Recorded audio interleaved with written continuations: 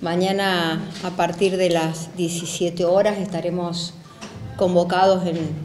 el anfiteatro San Martín, perdón, en la Plaza San Martín, este, y a partir de allí una nueva marcha que simboliza esto que estamos reclamando de manera legítima.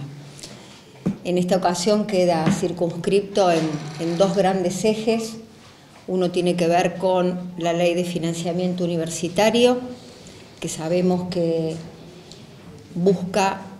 dar previsibilidad a todo el sistema, fundamentalmente reconocer ese retraso abrupto que ha tenido el salario de nuestros trabajadores, tanto docentes como no docentes, y por otro lado también poder sostener y planificar la multiplicidad de actividades en torno a las funciones que el sistema universitario y sistema científico aportan para el desarrollo de nuestro país. Así que esos son como los dos grandes ejes, más allá de las particularidades que podemos abordar en cada uno de ellos, pero lo que quiero enfatizar y que transversaliza el reclamo es este, el salario digno de nuestros trabajadores que hacen no solamente a la motivación para seguir comprometidos con esta causa nacional, sino este,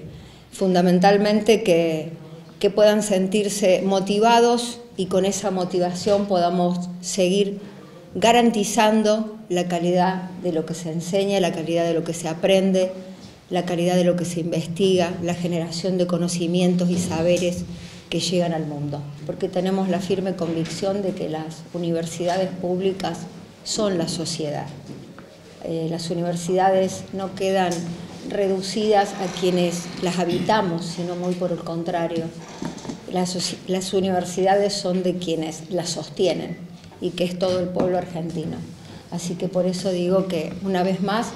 esperamos contar con ese respaldo social que fue muy visible y muy tangente el pasado abril de este año.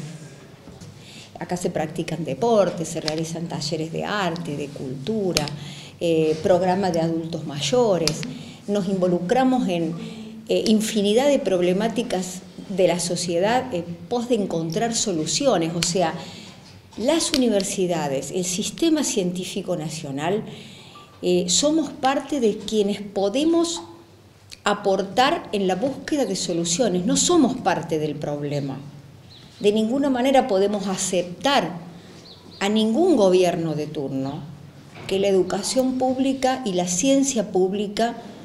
son parte del problema. Muy por el contrario, somos parte de la solución.